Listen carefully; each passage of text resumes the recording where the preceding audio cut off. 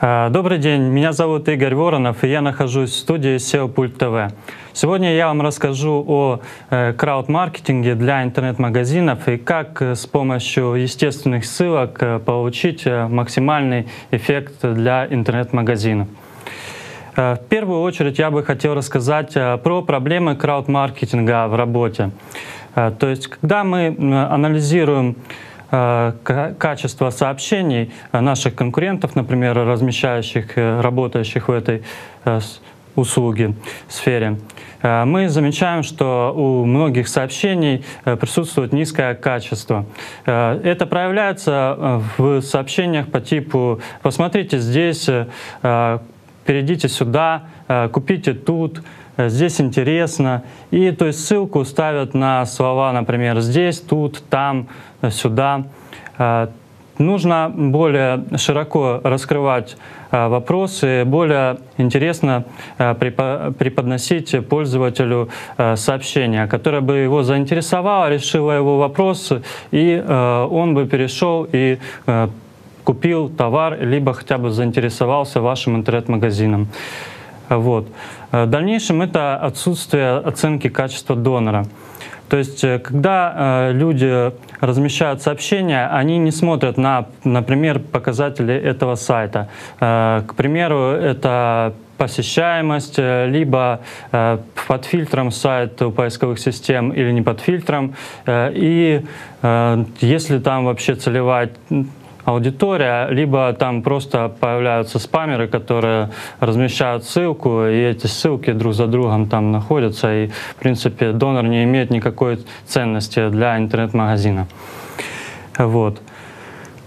Очень часто мы можем наблюдать, когда размещаются э, в неактуальных темах. Теме уже, например, полгода, и э, этот пользователь э, зашел на эту тему и решил ее поднять, потому что, скорее всего, не нашел другой какой-то площадки э, с актуальной темой. И э, поднимает эту тему, кидает ссылку, которая, в принципе, уже не имеет эффекта, потому что э, люди, которые создали эту тему, они уже, скорее всего, решили вопрос, который их интересовал. Э, и получается, что мы размещаем эту ссылку ради просто ссылки. Вот. Э, в дальнейшем это низкое качество аккаунтов.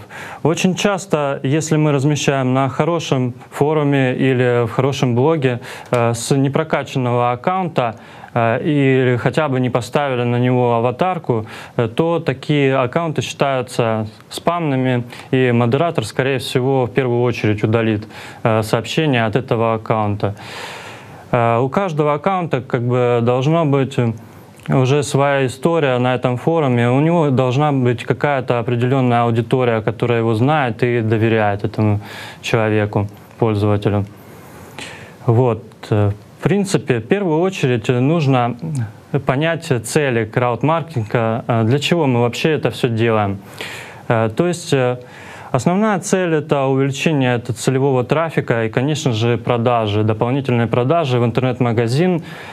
И то есть привлечение аудитории, которая заинтересована в покупке вашего товара или заказу у вас вашей услуги. А, второе — это, конечно же, рост узнаваемости бренда и повышение лояльности аудитории. То есть когда мы работаем с крауд-маркетингом, э, мы э, размещаем, например, от 50 сообщений в месяц. Это в любом случае повлияет на узнаваемость вашего интернет-магазина, бренда. И люди будут уже знать, например, если ему нужно там купить игрушку для ребенка, то он пойдет именно э, в ваш интернет-магазин, потому что видел, что э, нормальный аккаунт посоветовал, порекомендовал, отписался об своем опыте каком-то, и в дальнейшем придет на ваш магазин, то есть этот пользователь, и купит товар у вас. То есть, в принципе, далее это лояльность аудитории, потому как э, э, мы немного работаем с репутацией, то есть этого бренда. Лояльность аудитории э, за счет того, что мы в основном описываем положительный опыт работы и дополнительно рассказываем про этот бренд э, все хорошее, в принципе, все его положительные стороны, э, без учета каких-то отрицательных. Конечно же, это качественная ссылочная масса э, с точки зрения SEO-продвижения. Так как увеличивается, большой, увеличивается общая масса ссылок, и они, скорее всего, будут жить довольно долго, и пока их не удалят модератор или пока в общем не начнут э, чистить форум. Это естественная ссылочная масса, которая дает э, естественные переходы, и в дальнейшем э, как бы, она работает не один месяц, и, и люди, которые в дальнейшем поинтересуются, например, таким же вопросом, как была и тема, они зайдут туда и увидят вашу рекомендацию и Э, также этот может быть трафик идти через месяц, через два, через три, то есть пока тема актуальна и пост не удалится. Вот. Как же все это происходит и основная стратегия крауд-маркетинга для интернет-магазинов? С чего начать? В первую очередь мы должны э, выявить э, категорию товаров, либо товары с наибольшей доходностью, то есть с наибольшим ROI и LTV э, для клиента. Это должен сказать сам клиент, или если у него подключена веб-аналитика, мы можем, в принципе, тоже это выявить. Но в основном клиент должен тоже понимать, что для его бизнеса наиболее приоритетно. Вот. Далее мы создаем портрет целевой аудитории. Э, портрет целевой аудитории — это своеобразный аватар, то есть э, потенциального покупателя вашего интернет-магазина. Мы прописываем возраст, э, мы прописываем это женщины или мужчины и учитываем геолокацию для целевой аудитории. Э, в дальнейшем мы подбираем тематические площадки. Тематические площадки подбираются э, в течение всей рабочей работы, то есть и э, мы подбираем их исходя из актуальности. И, возможно, это может быть даже женская, женский какой-то форум, если на нем есть тема, которая актуальна и подходит нам Э, для размещения там поста, э, то мы можем использовать и этот женский форум. Э, далее мы работаем с именно форумом и регистрируем и оформляем аккаунты на этом форуме.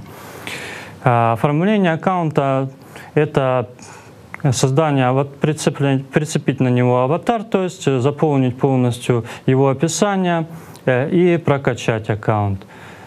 Э, этот аккаунт уже будет более-менее вызывать доверие и не покажется там для аудитории, что будто э, зашел чисто поставить свою ссылку и ну, пойти дальше. То есть э, как бы аккаунт однодневка, не аккаунт однодневка. Э, далее мы уже подогрев, видим, где есть э, подогретая аудитория и обсуждаемая тема, и э, приступаем к публикации сообщения от уже оформленного и зарегистрированного аккаунта. Публикация сообщения в виде рекомендации либо описания опыта ссылкой на ваш интернет-магазин, интернет-ресурс. В принципе, вот такая технология, то есть э, ничего сложного, но э, нужно иметь э, большой опыт в этом, и это должно исполняться качественно. Услуга должна предоставляться качественно. То есть ее должны предоставлять специалисты в этом деле, которые уже работают, имеют большую базу. Э, аккаунтов и форумов э, и знают, как, например, ведет себя на одном э, форуме, например, одна целевая аудитория, аудитория этого форума, и как она ведет себя, стиль ее общения на другом, например, форуме.